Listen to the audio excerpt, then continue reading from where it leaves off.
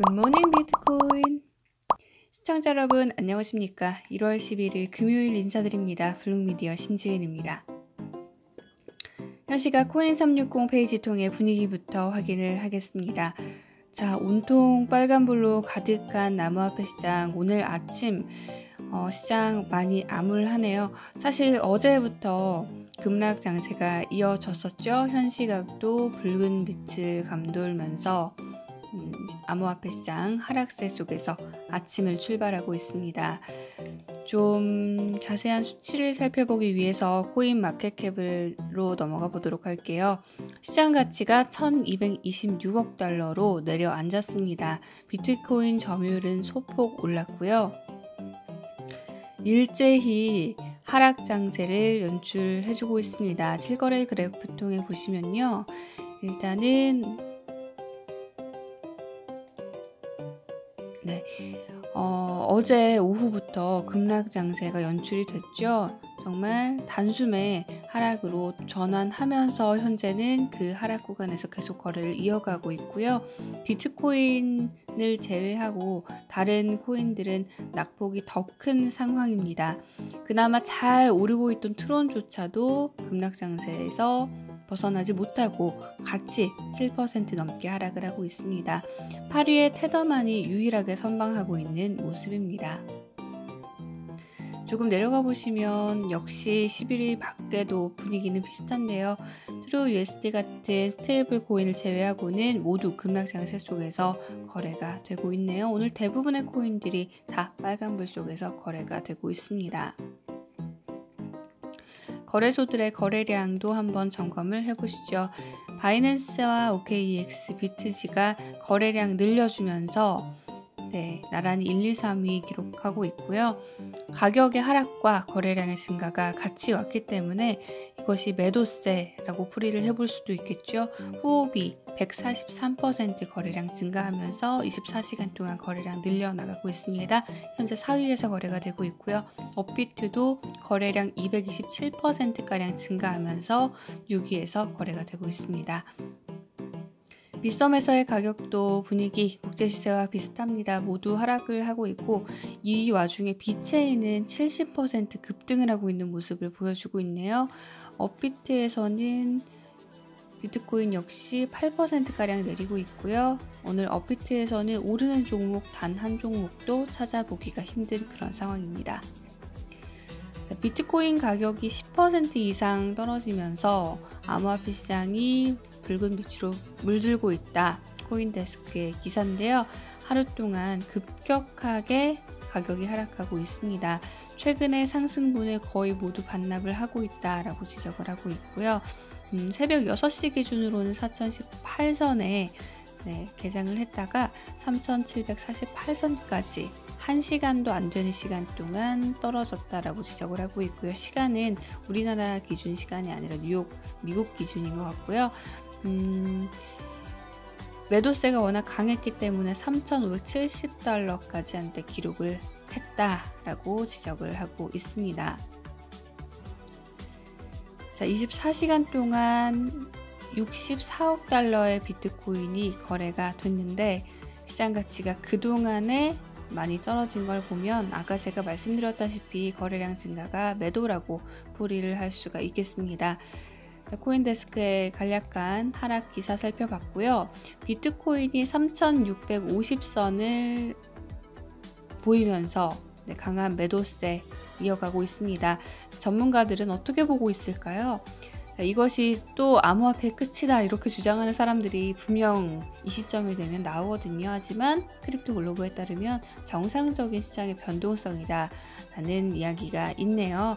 CryptoCompare의 자료에 따르면 비트코인이 4040선에서 3850선까지 떨어진 데 30분 정도 걸렸거든요. 아주 갑작스러운 매도세와 함께 나온 거래량 증가인데요. 이것들은 어떤 특별한 것을 의미하는 게 아니라 그냥 변동성이다 라고 얘기를 하는데 알렉스 크리거가 사실은 3500이랑 3600 사이에서 이제 지지를 다시 해나갈 것이다. 이게 그 시장의 지지선이다 라고 이야기를 한 바 있거든요. 그리고 만약에 3,300선까지 더 밑으로 3,300선 밑으로 더 내려가면은 어, 그때부터는 좀 약세장이라고 할 수 있겠다라고 했는데 지금 현재는 어쨌든 3,668선에 가격 머물고 있다는 거 기억을 하시고요. 음, 3,500에서 3,600선 정도에 한번 매수를 해봐라 라는 의견을 줬네요. 자, 마티 그린스펀도 이야기를 했는데 이토르의 수석 증권 전문가죠. 어, 이 시장의 하락이 51%의 공격과 연관되어 있지는 않다고 생각을 하고요. 그거는 암호화폐 그냥 변동성이다 라고 이야기를 했습니다. 그리고 비트코인이 3,550선은 버텨낼 것이다 라는 의견 덧붙였네요. 자, CCN의 기사 살짝 살펴보고 넘어가시죠. 연준의 제롬 파월 의장이 지금 미국의 부채에 대해서 매우 고민을 하고 있다라는 말을 했다고 합니다. 사실 뭐 암호화폐 시장만 문제가 되는 것이 아니라 현재 전통적인 경제 영역에서도 문제가 많죠. 그래서 항상 증시가 흔들리고 있고요. 또 그쪽은 정치적인 불확실성까지 더 큰 영향으로 받아들이고 있습니다. 그래서 제롬 파월이 어, 이 부채에 대해 고민을 하고 있다는 것은 한편으로는 암호화폐 호재도 될 수 있고 또 반대편으로는 경제 전반이 흔들리는 거기 때문에 악재가 될 수도 있을 텐데요. 어쨌든 어떤 영향을 미칠지 모르겠지만 제롬 파월의 이런 말을 했다는 것을 CCN은 주목해서 보도를 하기도 했네요. 살짝 다른 얘기로 잠깐 했죠. 다시 비트코인 가격 분석으로 돌아와 보면요. 어, 자, 비트코인이 이렇게 하락을 하면서 강세장에 대한 기대감이 끝난 것인가라는 그런 의문을 뉴스비티씨가 제시를 했는데요. 어, 일단은 4천선 아래로 떨어진 게 이제 갑작스러운 매도 물량 때문이다라고 지적을 했는데 그래프를 좀 보시면요. 어, 일단 그래프를 통해 기술적 분석을 하고 있는 것을 지금은 참고하시는 게 좋을 것 같은데 어, 아직까지도 이 3700선 근처에선 거래가 된다면 이게 지지선으로 여겨질 수 있고 어, 이 가격을 한번 유심히 지켜볼 필요가 있다라고 지적을 하고 있습니다.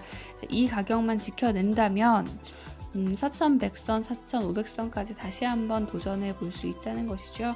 너무 음, 이 시장을 안 좋게 볼 필요는 없다라는 그런 의견도 한번 찾아볼 수가 있을 것 같은데 일단 3700선이 지켜질 수 있을지 한번 어, 봐야 되는데 현재 이 비트코인이 3669선까지 가 있거든요. 그런데 음, 그래프를 다시 한번 확인을 해보시면 비트코인이 일간 거래량으로 한번 보시죠. 네, 현재는 어쨌든 급락한 뒤에 그 가격을 지켜내고 있는 모습이거든요. 그래서 조금 한번 더 움직임을 지켜보시는 것도 네, 좋을 것 같습니다. 자, 4,100선, 4,500선까지 다시 한번 가줘야 할 텐데요. 음, 지금은 어쨌든 그래프상으로는 3700선, 네, 이 선, 지지선이자, 네, 매도세가 나오는 그런 지점이라고 할 수 있겠습니다. Bitcoinist는 네, 비트코인 가격의 급락이 있었지만 전문가들은 여전히 네, 강세장에 대한 그런 기대감을 늦추지 않고 있다라고 보도를 했네요. easy come easy go 오는 뭐 쉽게 온건 쉽게 간다는 말이고 최근에 암호화폐가 4천선을 넘겼는데 이거를 두고 이지컴 이지고라고 하는 걸까요? 네. 일단은 비트코인이 현재 많이 급락을 했지만 그럼에도 불구하고 토니 웨이의 의견에 따르면 1300달러 또는 그 이하까지 갈 것이다 라는 의견도 있었다. 네, 그렇기 때문에 그것에 비하면 나은 시나리오다라고 이야기를 하고 있고요. 그리고 어, 트위터를 통해서 플랜비라고 알려진 한 계정의 소유자는 단기적으로는 이렇게 가격이 좀 부진할 수 있지만 이번 해가 지나면 2021년까지 가면 10만 달러 가격 올 것이다 라고 예측을 내놨습니다.